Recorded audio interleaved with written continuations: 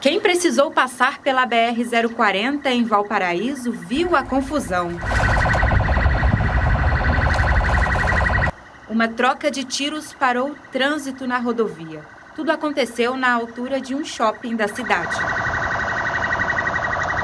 Segundo a polícia, o confronto começou por causa deste carro. O dono é um senhor de 67 anos. Segundo ele, três suspeitos abordaram a vítima, pegaram o carro, o celular dele e fugiram. Ainda segundo a polícia, um desses suspeitos estava armado. Por causa do engarrafamento aqui na BR-040, um desses suspeitos abandonou o carro e correu.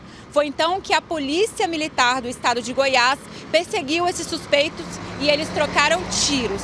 Um morreu na hora e os outros dois se entregaram. Ele nos reportou que tinha acabado de ser roubado. A equipe de Rotan tentou interceptar o veículo, procedendo à abordagem. Como o fluxo estava intenso, ah, os meliantes resolveram parar o carro e desembarcar.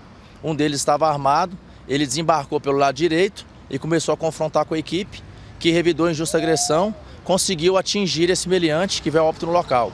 Os outros dois se entregaram de imediato, estão detidos e vão responder pelo crime de roubo perante a justiça. Eles foram identificados como Tiago Rocha e Cleiton dos Santos Aguiar. Os três já tinham passagens pela polícia. O dono do carro é o seu Cícero. Ele conta que foi rendido pelos suspeitos no bairro Jardim Oriente, que fica a mais ou menos 4 quilômetros de onde tudo aconteceu. Dois rapazes chegaram, me renderam, me agrediram, me jogaram no chão, tomaram a chave do carro e me fizeram ameaça, né?